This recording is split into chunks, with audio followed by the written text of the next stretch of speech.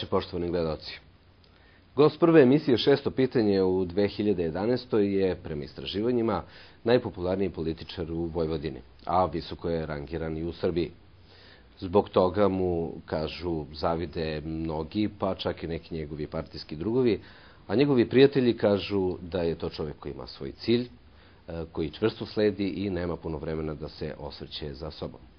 Dr. Bojan Pajtić, predsjednik vlade Vojvodine i potpredsednik Demokratske stranke. Dobroveče. Dobroveče, želim vama i svim vašim gledalcima. Ono što nisam pomenuo je e, stručnjak za predbračne ugovore, je li tako? Pa, u stvari, ja sam e, docent na obligacijnom pravu, a, a tema moje doktorske disertacije jesu bili upravo bračno-imovinski ugovori. Oni nisu po svoj e, prirodi samo predbračni, dakle, zaključuju se i u toku braka, neograničeni broj puta i njima se menja zakonski režim zajedničke imovine. Pa, s obzirom da, ajde, možemo tako da kažemo da smo kolege, koliko su ti predbračni ugovori svojstveni srpskom narodu? Pa, znate šta, mi smo instituciju bračnih ugovora imali oni se sad po porodičnom zakonu nazivaju bračnim ugovorima, imali i e, u predratnom periodu. Međutim, e, nije bio veliki broj tih ugovora zaključivan i postoji jedno predubeđenje da su to pravni poslovi koje zaključuju pre svega supružnici koji su boljeg materijalnog stanja, što nije uvek pravilo i bračni ugovori jesu neka vrsta mehanizma koja omogućava mnogo manje parničenja, mnogo manje a, stresnih situacija, ali istovremeno oni su naročito podobni za one bračne drugove koji iz nekog prethodnog braka ili van bračne zajednice imaju decu i u tom smislu bračnim ugovorom mogu da opredele e, i obezbede imovinsku sigurnost za e, svoje potomke koji su, kažem, bili rođeni u nekom prethodnom braku ili prethodnoj vanbračnoj zajednici i u tom smislu bračni ugovori su jedan zaštitni mehanizam koji štiti i decu od traume, koji štiti i decu iz e, prethodnog braka, koji štiti i supružnike od parničenja, od e, dugog brakorazvodnog postupka i od mučnog brakorazvodnog postupka i u tom smislu a, za ovim mehanizmom a, posežu ljudi pre svega kada su u dobrim odnosima jer na taj način oni anticipiraju neka nesrećna vremena. Ja lično ne bih zaključio bračni ugovor, dakle nisam neki promoter ove institucije, ali budući da je ona nova u našem pravnom sistemu, želeo sam da je obradim i bila mi je izazovno toliko što osim dva članka u našoj literaturi nije postalo ništa što bi se bavilo ovom materijom i uglavnom sam bio koncentrisan na uporedno zakonodavstvo i uporednu doktrinu. Dakle, englesku, francusku, nemačku, mađarsku i uh, doktrine zemalja bivše Jugoslavije i zbog toga je to, da kažem, bio izazov i bilo mi je interesantno. Da, što kaže naš narod, pošteno pa na sud. Uh, da se mi vratimo onome što je možda i važnije e, i da se ipak osvrnemo na 2010. godinu. Šta je vlada Vojvodine e, dobro uradila, šta nije uradila, šta je moglo bolje? Znate šta, mi smo e, na početku godine, ili ja sam na početku godine, zadao jedan jako visok cilj sebi i svojim saradnicima. To je cilj po kome nećemo da dozvolimo da se poveća broj nezaposlenih u Vojvodini uprkos tome što se uh, masovno otpuštaju ljudi širom Evrope i sveta, što je e, cela planeta u egzistencijalnoj neizvesnosti, što imamo tako globalna kretanja da recimo u susednoj Rumuniji imamo 25% smanjenja plate u javnom sektoru, pa utoliko nisu čudene one scene koje smo imali u parlamentu pre nekoliko dana, one, one, one tragične scene. I to jeste bio cilj koji je na neki način bilo i hazarderski postaviti u takvim okolnostima, jer kapital je jako bojažljiva kategorija i e, mnogi investitori širom celog sveta su odustali od toga u ovim godinama da ulaze u neka ulaganja, da ulaze u bilo kakve investicione rizike. Mi smo taj cilj međutim postigli. To je ono što je jako pozitivno. Postigli smo nešto što nisu postigle regionalne administracije u ovom delu Evrope. Mi smo u novembru mesecu imali 3.500 nezaposlenih manje nego u januaru mesecu 2010. godine. Još nemam podatke za decembar, ali oni dakle, ne mogu biti nešto značajno drugačiji i u tom smislu to jeste veliko postignuće. Oko 30.000 ljudi smo zaposlili u poslednjih godinu i po dana kroz programe Sekretarijata za rad, dakle finansiranje neposredno novog zapošljavanja, samozapošljavanja, podrška je nekih 130.000 dinara bila po, po radnom mestu, dakle nije tačno da mora da se uloži 10.000 ili 8.000 evra po radnom mestu za 1.200 evra i tekako možete da otvorite neograničen broj radnih mesta gotovo u našoj zemlji. E, kroz programe novih tehnologija i novih materijala smo obezbedili 81 pogon novi na teritoriji Vojvodine, dakle 81 manju fabriku ili pogon koji rade u svim opštinama u pokrajini i koje e, zapošljavaju ljude, zahvaljujući tome što smo ponudili nešto što ne nude drugi. Dakle, napravili smo jedan specifičan program koji omogućuje da dovedemo investicije u sredine u kojima decenijama nije bilo ulaganje, tako što smo obezbeđivali sredstva za te pogone, tako što su sredstva delimično otpisivana kao neka vrsta subvencije na ime toga što su otvarana radna mesta, a drug, drugi deo sredstava koji nije bio otpisivan vraćan je kroz proizvode, tako da smo obezbeđivali samim tim i tržište tim investitorima i veoma lagan način vraćanja tih sredstava i e, zbog toga im je bilo veoma atraktivno da ulažu i u sredine kao što su e, ođaci, kao što je plandište i e, druge sredine u kojima zaista nije bilo investicija decenijama. Mi smo koristili i programe Fonda za razvoj, programe Razvojne banke, Garancijskog fonda i kada se saberu ti programi, dakle preko 30.000 ljudi je zaposleno na teritoriji Vojvodine, da nije bilo krize, rezultat bi bio još mnogo, mnogo bolji. Mi smo knjižili a, a, smanjenje nezaposlenosti godišnje u proseku za 25.000 do svetske krize. Znači, kada je izabrana prva pokrajinska vlada na čijem sam čelu bio, mi smo imali 300.000 nezaposlenih na teritoriji Vojvodine. Gotovo 300.000, 395-6.000. Mi smo 2000 i odnosno izvinjam se 295.000.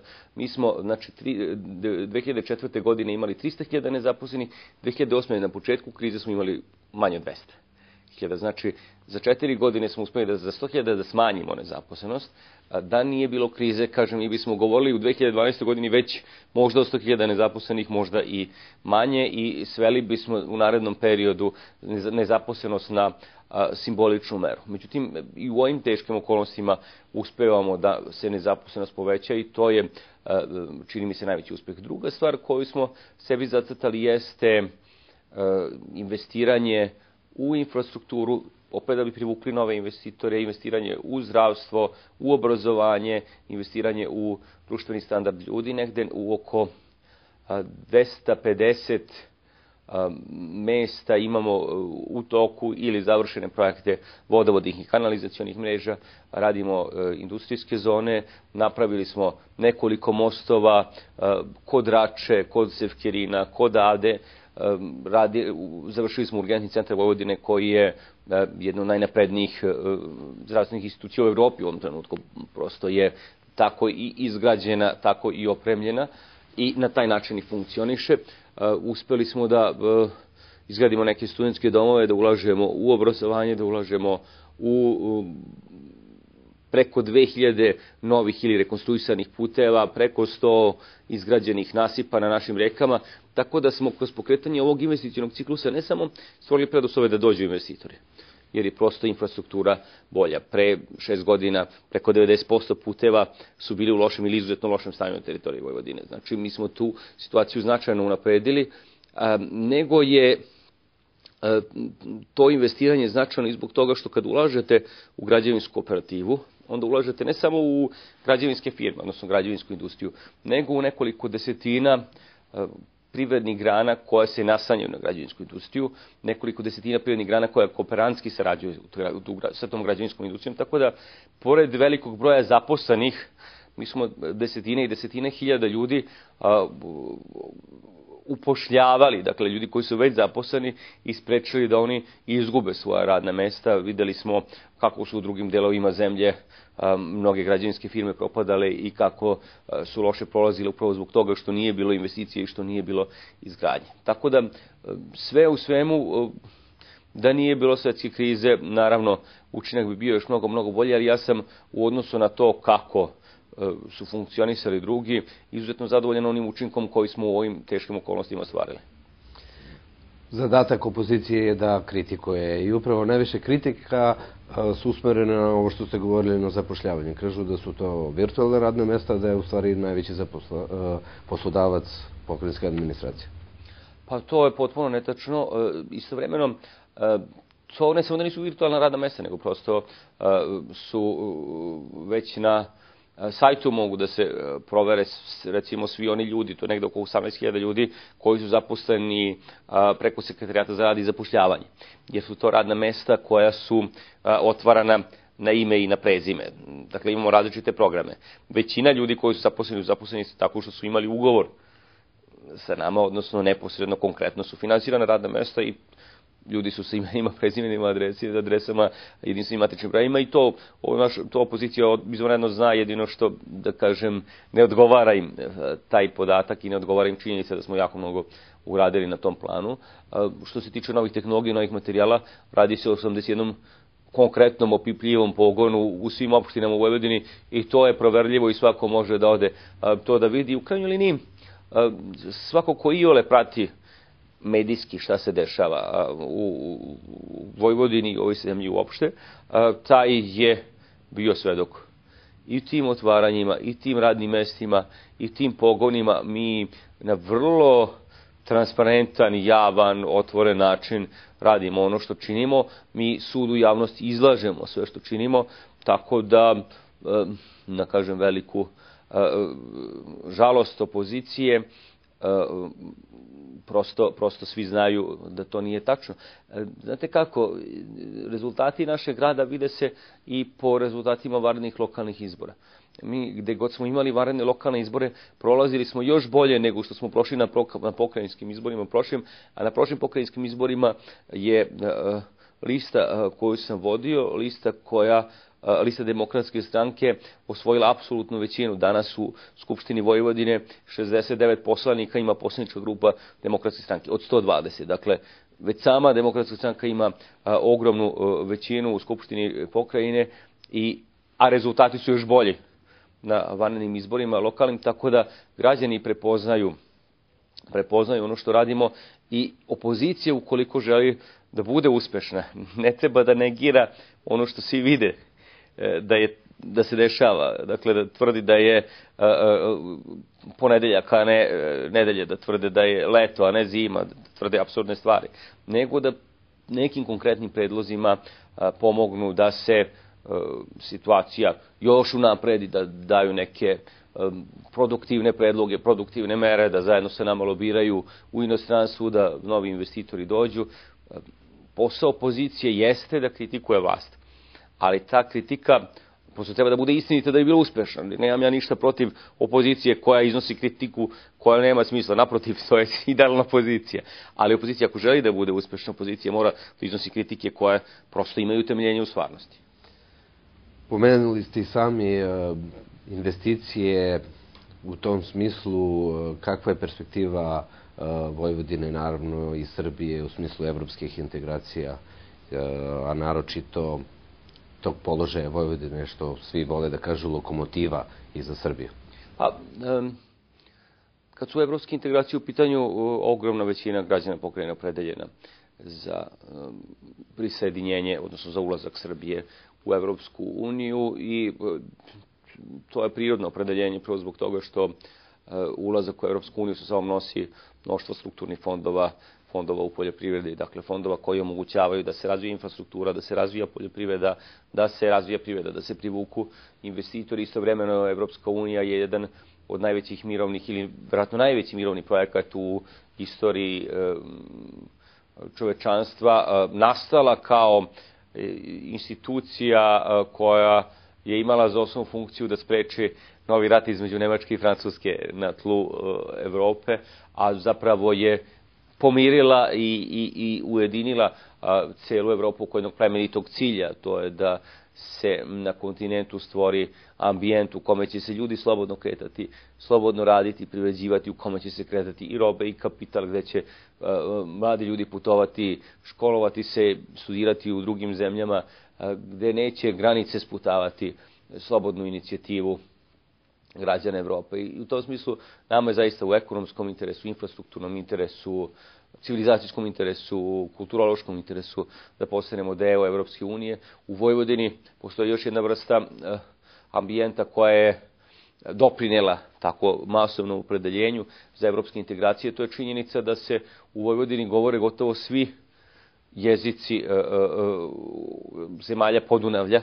Dakle, u, Vojvodini se govore mnogi jezici koji su službeni jezici u Evropskoj uniji i žive mnogi narodi čije su matične države članice Evropske unije i u tom smislu je u interesu i tih zajednica, ali i većinskog srpskog naroda da kroz integraciju sa Evropom se ostvari ambijent u kome će svako negovati svoju kulturu, svoj identitet i gde će svako imati svoje zapaženo mesto.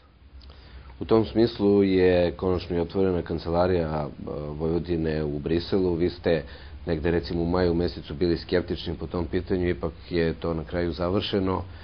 Šta od nje očekujete? A, ja nisam bio skeptičan po pitanju otvaranja, e, nego po pitanju, nego smo dimenzionirali tajming drugačije.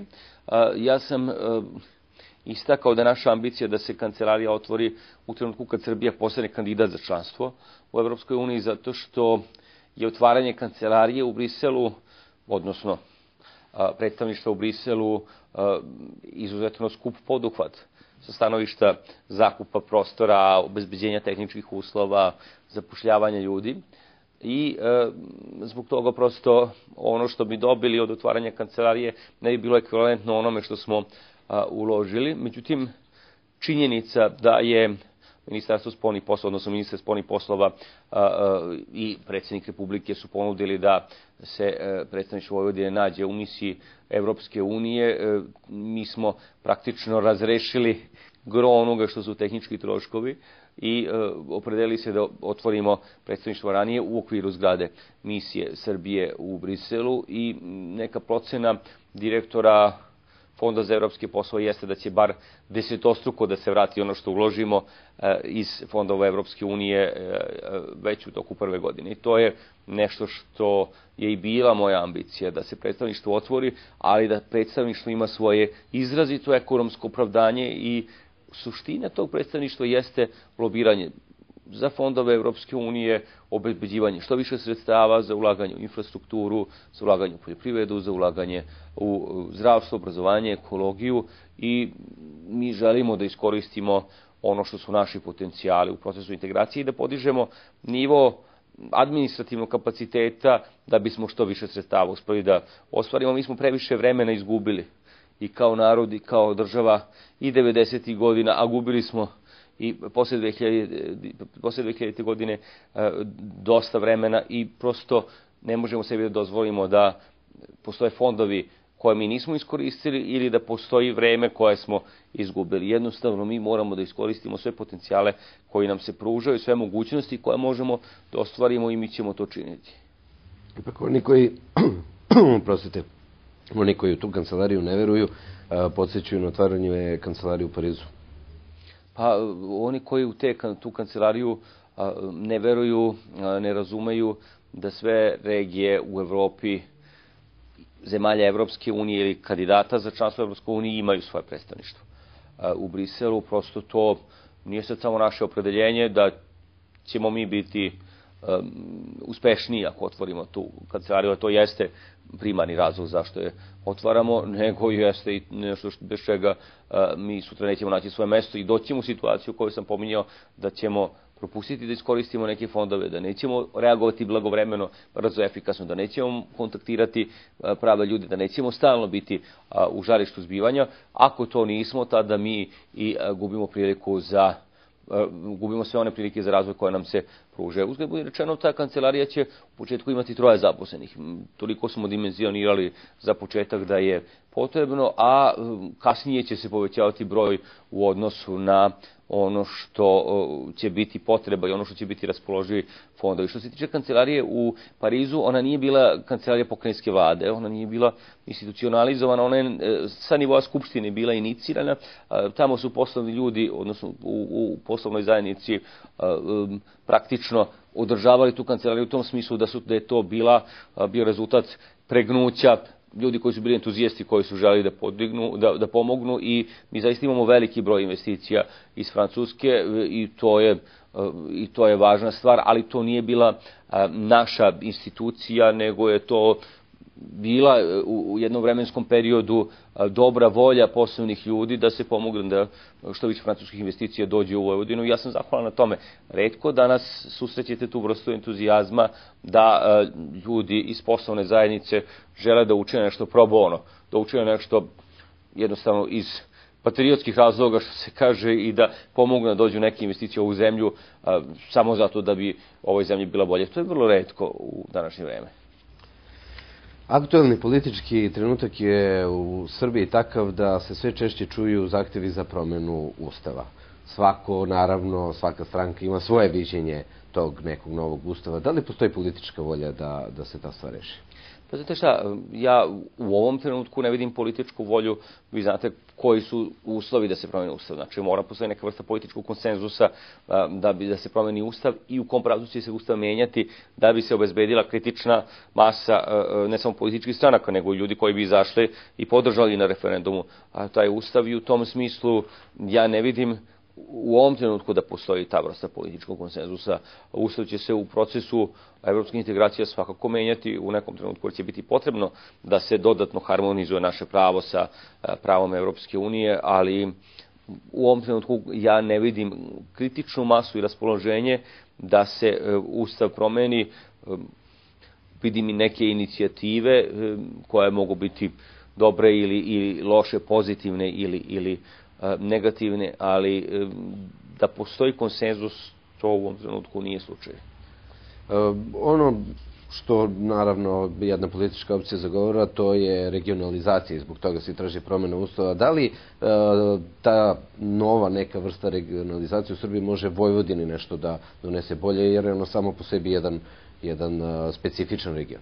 Pa poziv da se donese novi ustav da bi se regionalizovana Srbija jeste poziv koji je u stvari ima dnevno politički karakter, zato što po novom ustavu, po postojećem ustavu, dakle po ustavu koji sad važi, e, Srbija može da se regionalizuje. Znači, ovaj ustav, postojeći ustav je regionalizovao e, Srbiju kao zemlju u kojoj će nastajati novi regioni i gde će u stvari zakonima se razrađivati mehanizam nastanka novih regiona. U tom smislu nam uopšte ne treba novi ustav da bismo mi definisali regionalno uređenje države. Mi jesmo asimetrično regionalizovana država, dakle imamo Vojvodinu i Kosovo kao pokrajine, imamo Beograd kao glavni grad koji ima neku vrstu regionalnog statusa, ostatak zemlje nije regionalizovan, ali nije neophodno donošenje novog ustava da bi se taj proces pokrenuo, čak i da bi se finalizovao, jer novi ustav pruža dovoljno mehanizama za regionalizaciju, odnosno za suštinsku decentralizaciju države. Nekoliko pitanja za Bojana Pajtića kao potpretnika demokratske stranke. Mnoge su oči bile uprte u tu izbornu skupštinu. Opravdano ili neopravdano? Pa, uh, uvek je uh, budućnost zemlje i ono što će se dešavati u, u, u godinama koje su ispred nas u velikoj meri zavisilo od uh, poruka i programskih opredeljenja koje je demokratska stranka definisala. U suštini ne može se završiti posao modernizacije, potpune demokratizacije država i proces evropskih integracija Srbije bez demokratske stranke. Demokratska stranka je prosto nosilac tih procesa i danas i bit će nosilac tih procesa u budućnosti i zbog toga se nekako više Skupština demokratske stranke prati nego Skupština bilo koje druge stranke. Uzgled budi rečeno, više se i veruje u proces unutrašnje demokratije u demokratskoj stranci nego u procesu unutrašnje demokratije u drugim strankama, jer mi smo imali situacije u kojima je pokojni Zoran Đinđić došao na mesto predsednika posle Dragoljuba Mićunovića, pa je nakon njegovog, njegove tragične pogibije Boris Tadić pobedio zamenika čovjeka koji je vodio do tada stranku Zorana Živkovića. Imali smo Vuksanovića koji je želeo da dođe na, na mesto Zorana Đinjića. Dakle, mi smo vrlo često imali tu vrstu unutrašnjih demokratskih procesa koji su govorili o demokratskoj stranci kao o organizaciji ljudi koji su ne samo misleći, nego koji polaze od toga da je pravo svakog čoveka da bira i da bude biran na pozicije ne samo u državi, nego i u samoj stranci. I to nije slučaj sa drugim strankama. Prosto nije. Prosto su druge stranke uglavnom vlasništvo e, svojih predsednika koji su ih e, osnovali i koji se nisu nikada više promenili. Vi ako pogledate stranke u Srbiji, vi ćete videti da osim ukoliko nije sticajem tragičnih okolnosti e, e, neki predsednik stranke je izgubio život ili, ili e, otišao sa političke scene nije bilo smene na nivou predsednika stranke, odnosno manje više su ljudi koji su stranke osnivali i apsolutni gospodare tih stranaka i nema nikakve unutrašnje demokratije. I zbog toga je Skupština demokratske stranke uvek zanimljiva, jer na Skupštini demokratske stranke uvek su moguće uslovno rečeno iznenađenja koje su posledica većinskog raspoloženja u stranci u jednom trenutku. A to voli mediji. No, ovaj, pitanje je kakvi su odnosi u koaliciji u pokreni? Vi ste ovako malo šaljivo pre neki dan rekli da ste imali buru u čaši vode. Da, buricu u čašici vode, možda je to previše deminutiva za jednu e, rečenicu. E, pa, mislim, jedna od stranaka e, je, budući da opredeljenje da se ne glasa za budžet, nije moglo naneti nikakvu štetu budžetu, želela da promoviše neke svoje političke ideje i to je legitimno. Dakle, taj stav za nas nema ni matematički ni politički značaj. A, matematički značaj nema zbog toga što, kažem, sama demokratska stranka ima više nego uverljivu većinu u Skupštini Vojvodine, a e, više od dve trećine prisutnih poslanika je glasalo za budžet, tako da e, ovakav stav i opredeljenje jedna od stranaka nije imao e, značaja, niti je politički taj stav na bilo koji način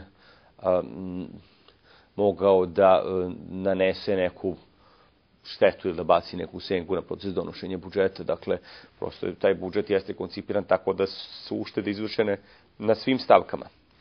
I svi su pomalo nezadovoljni sekretari, zato što smo mi koncipirali, odnosno ja sam koncipirao budžet tako e, da e, on mora biti razvojni u tom smislu da mora da se obezbede, moraju da se obezbede sredstva za radna mesta i moraju da se obezbede sredstva za nastavak investicija. To su apsolutni prioriteti.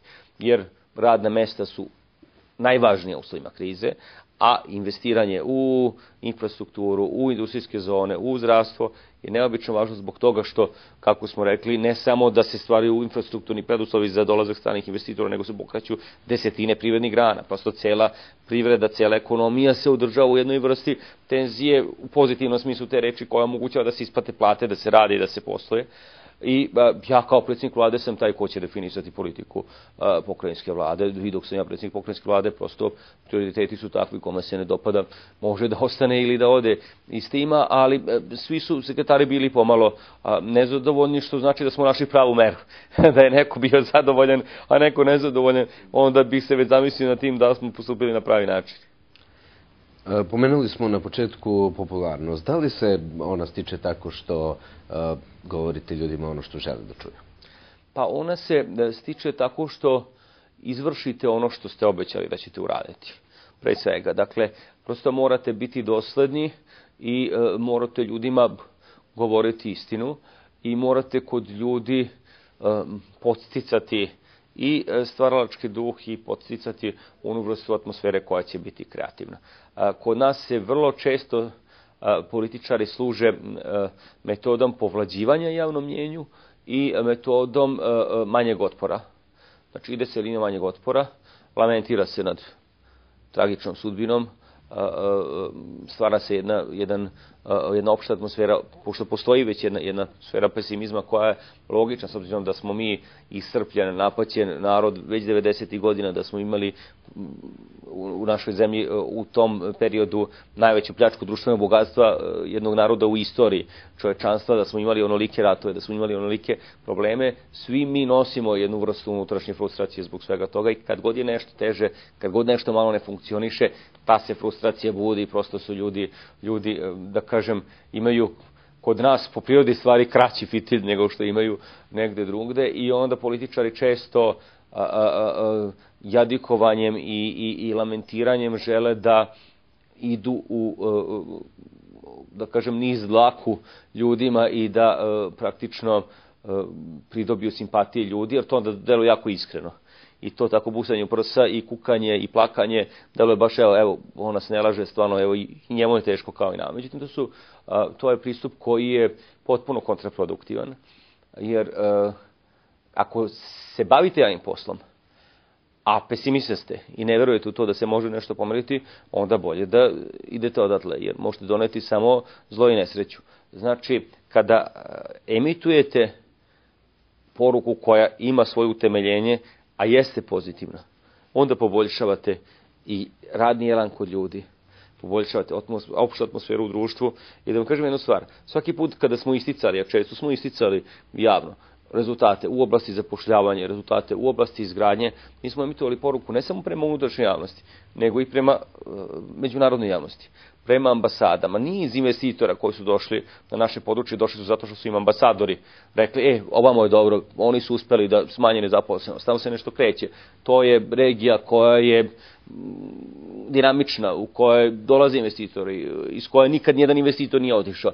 Poruka pozitivna koju stalno uh, ponavljate jeste poruka koja na kraju donese pozitivan efekt. Ako stalno kukate, onda ćete doći u situaciju u kojoj dolaze uh, mrgudi s kojima niko neće da se druži, koji stalno uh, imaju negativan odnos, koji se sa svima svađaju, kojima ništa ne valja, takve niko neće u društvu. E, takve niko neće ni u privredi, takve niko neće ni u međunarodnim odnosima, takve niko prosto neće da vidi i ne uživa u, dru, u njihovom društvu i zbog toga ja, dok se bavim ovim javnim poslom, a, ću verovati u ono što radim. Tog trenutka kad ne budem verovao, više se time neću baviti. Bavit ću se obligacionim pravom i bavit ću se bračnim ugovorima. Za sam kraj, doktor Petiću, decenija je prošla od demokratskih promjena. Da li je to bila decenija prevelikih očekivanja, neispunjenih obećanja i kako vidite Srbiju i Vojvodinu, naravno, u narednoj deceniji? Pa, svakako da je ova decenija donela ogromne promene u svim oblastima društvenog života u odnosu na period 90. godina. I u oblasti ekonomije, i u oblasti standarda i u oblasti, dakle, setit ćemo se e, kako, kako smo živeli tada, sa kakvim smo nedaćama se suočavali tada, sa kakvim se problemima suočavamo sada i vidjet ćemo da su ti problemi danas mnogo manji da je perspektiva mnogo izvesnija, uprkos tome što kažem. Postoji globalna kriza i ona je činjenica i takva kriza nije postojala na planeti Zemlji od 30. godina 20. veka pa do danas i e, mi e, prosto nije ni ozbiljno reći da, da, da se stvari nisu e, veoma, veoma poboljšale. Naravno, svi bismo volili da se stvari razvijaju brže. Ne možete nešto uništavati 10 godina i onda za godinu dana stvoriti. Mnogo je brži proces uništavanja, mnogo je lakše uništiti nego nešto stvoriti. I mi dan danas u suštini još uvek sa mnogo napora, sa mnogo stranih investicija, mi u Vojvodini imamo preko 5 milijardi e, evra uloženih, e, radi preko 60.000 ljudi, skoro 70.000 u tim stranim kompanijama i tako dalje. Još uvek se trudimo da dostignemo ono što smo imali u 89. 90. godine kao nivo proizvodnje, kao nivo opšte produktivnosti. I to jeste posljedica činjenice da je u ovoj zemlji 90. godina vođena politika kakva je bila, koja je bila potpuno destruktivna potpuno destruktivna po ekonomiju, potpuno destruktivna po ugled ove zemlje i mi još uvek peglamo, što kažu, svoj ugled, mi još uvek radimo na tome da e, poziciju naše privrede poboljšamo, mi još uvek radimo tome, na tome da ono što je loš imidž ove zemlje e, poboljšamo i da objasnimo celom svetu, investitorima, ljudima koji donose politiku, donose odluke u međunarodnoj zajednici, da je ovo jedna drugačija, demokratska, prosperitetna zemlja. Mi u ovom trenutku imamo u komparativnom smislu te reči mnogo povoljnije uslove za investiranje nego što to imaju zemlje u okruženju. Mi imamo PDV koji je niži samo u Bosni, nigde drugde u Evropi a, nije toliko nizak. Mi imamo a, porez na dobit preduzeća koji je niži nego bilo gde u Evropi. Imamo mere, podrške i programe podsticaja stranim investitorima koji su bolji i pogodniji nego drugde, kvalifikovanu radnu snagu i mi imamo perspektivu da se dalje razvijamo. Svako ko kaže da nemamo u suštini, govori to iz nekih svojih ličnih razloga, svakako ne iz dobre namere. Hvala vam što ste govorili emisiji Šeto pitanje Novosadske televizije. Hvala puno i vama i vama i svim gledalcima želim puno porodične sreće, poslovnog uspeha i zdravlja u novoj 2011. godini. Nije nam lako, ali nikad nam i nije bilo lako zbog toga, samo treba da budemo optimisti i da mislimo na to da i kako imamo budućnosti i mi i naša deca. Hvala još jednom. Poštovani gledalci, bila je ovo još jedna emisija, šesto pitanje, ostanite uz program Novosadske televizije, prijetno večer.